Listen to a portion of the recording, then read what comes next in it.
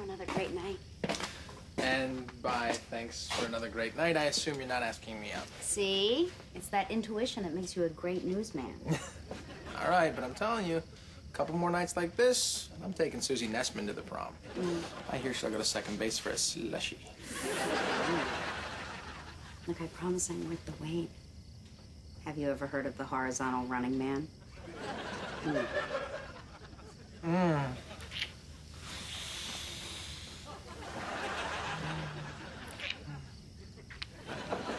your sister's spying on us. Only because she's in love with you. She couldn't care less about me. I've been replaced by Grace, the Stepford caterer, who probably never drinks on the job or tries to sleep with the clients. The way Hope does.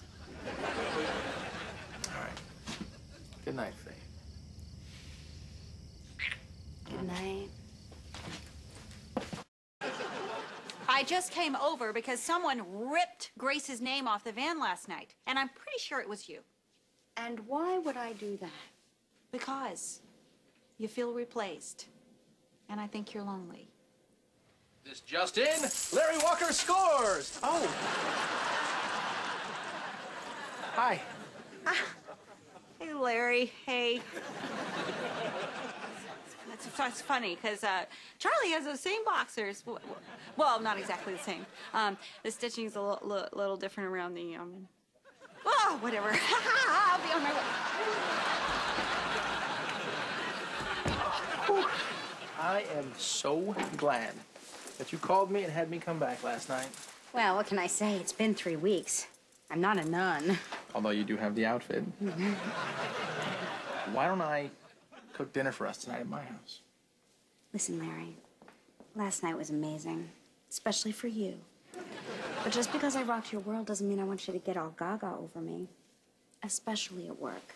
I mean, let's keep it professional, at least until my benefits kick in. Great. Casual.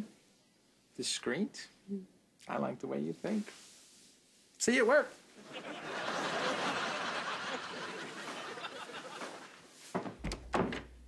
No goodbye kiss?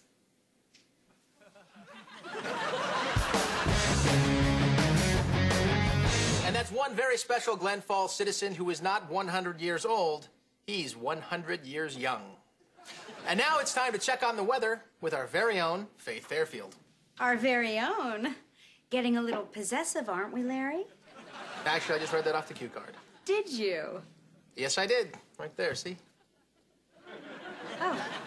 Was there anything else on that cue card? Like you don't want me seeing other anchormen? No. But does cream corn contain the cure for cancer? Our own Dr. Israel Hershowitz seems to think so. The doctor is in right after the weather. Faith? Fine. There's a cold front moving in. Wear your coats because it's going to get awfully chilly. Back to you, bad in bed.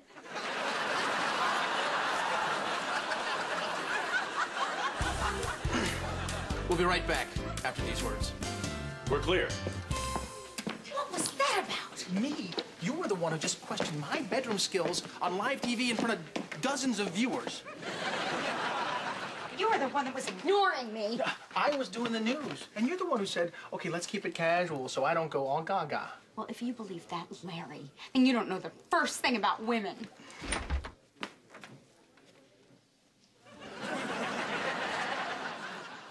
Although, you do know the second thing, which is we love flowers.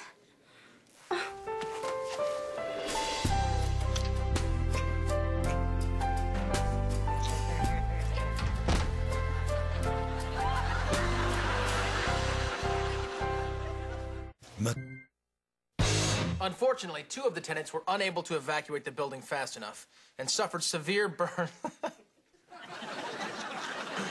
burns over 70% of their of their body. We'll be right back after this. And we're clear. I'd like to have you over 70% of my body. Can I see you behind the set for a second? You read my mind, now prepare to read my lips.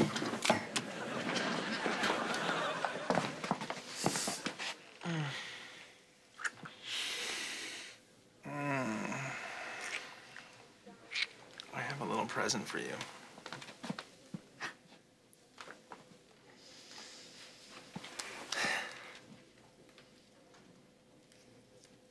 What is this, the key to your heart? No, you've already got that. That's the, the key to my house. Oh, I already had one made last week when you were in the shower. Well, that is the official one. I know it's only been six weeks that we've been seeing each other, but I love you, Faith. And I want you to move in with me. Uh, you're still Mike, Larry.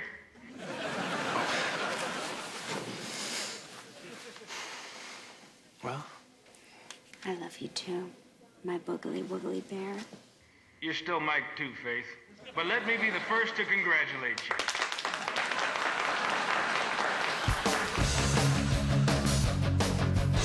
make way, coming through.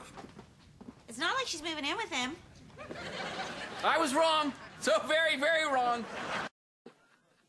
In fact, I think you're moving too fast with Larry. Look, Hope, I am 30 blah, blah, years old.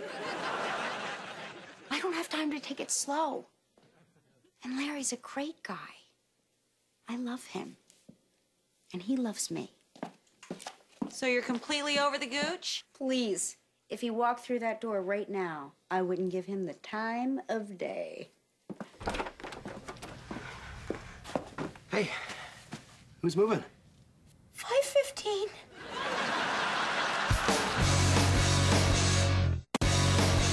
Gooch. What are you doing here? I love you, Faith. And I can't live without you. Nah, just kid. No, I sold my house, so I gotta pack up and get back to Japan in two days. Who's moving out here? All right, honey. A few more boxes, and it's off to our love shack. and Hope, thanks for those dining room chairs.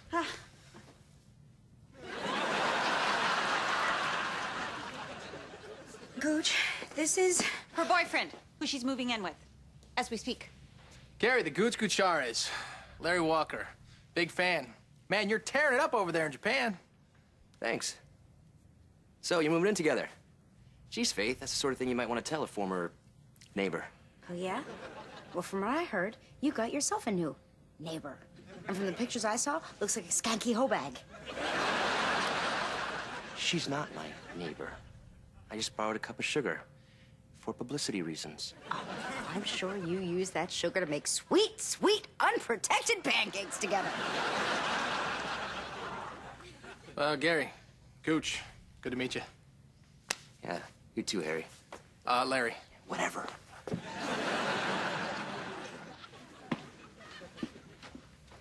So, how long was the Gooch your boyfriend? Oh, no, no, no, no, no, no, he was not my boyfriend. It was strictly a sexual thing. I'm sorry. I thought that would make it easier. Not so much, no. Look, it seems so ridiculous now.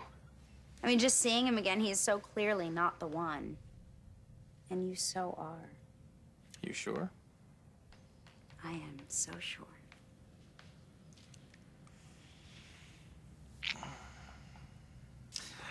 I will then take the first load over to my place.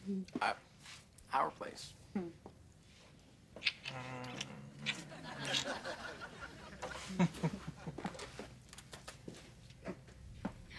Oh my god! I am so not sure. Hope, upstairs, now! Please! I don't know what I'm gonna do now. I'm really confused. Maybe this will help you.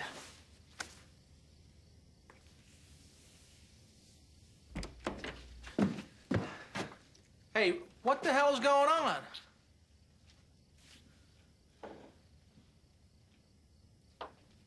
Wait a minute. You're not Larry.